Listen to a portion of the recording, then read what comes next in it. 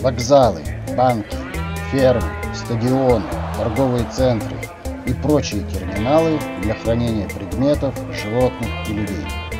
В одно из таких хорошо охраняемых зданий вошел вор, благополучно миновал сигнализацию и охрану. Он пробыл там некоторое время и беспрепятственно покинул здание.